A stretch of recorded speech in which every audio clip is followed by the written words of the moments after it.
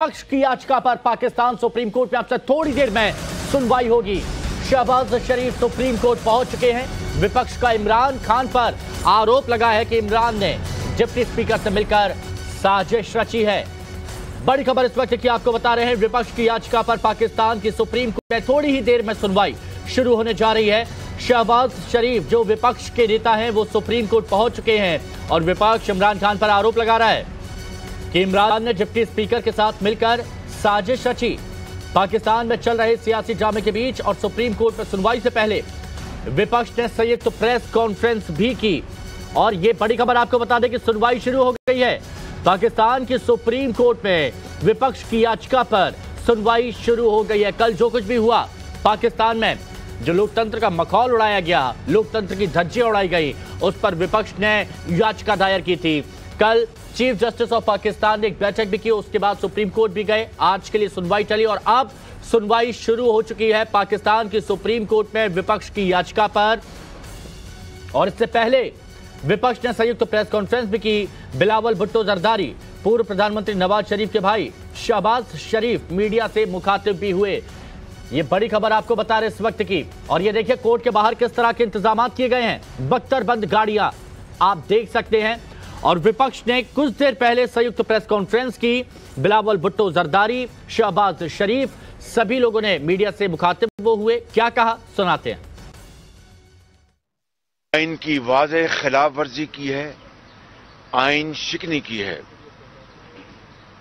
क्योंकि 24 मार्च, ये बड़ा इंपॉर्टेंट पॉइंट है 24 मार्च को स्पीकर ने ईवान की मंशा के मुताबिक अदम एतमाद की मोशन को लीव ग्रांट की। और अगर कोई एतराज़ था तो 24 मार्च को इस मोशन को, यानी अदम एतमाद की तहरीक को लीव ग्रांट क्यों की? असम्बली का पूरा एक निज़ाम है, उनका एक लीगल ब्रांच होती है, स्पीकर वो तमाम मराहल तय करके, जवाबित के मुताबिक, फिर किसी एजेंडा आइटम को ऐवान में टेबल करवाता है, वगरना उसको अपने कमरे में, ऑफ़िस में उसको रिजेक्ट कर देता है। तो अगर खुदा न खास्ता किसी आर्टिकल फाइव के ज़मरे में कोई चीज़ आ रही थी तो फिर स्पीकर ने 24 मार्च को इसी मोशन को हाउस की मंशा, हाउस की इजाज़त के बाद क्यों लीव ग्रांट की? वो अगर खुद इस्तीफा देता तो वो एक आईनी तरीके से इस प्रोसेस को शुरू कर सकता था। दूसरा आईनी प्रोसेस क्या था? कानूनी जमहूरी प्रोसेस क्या है?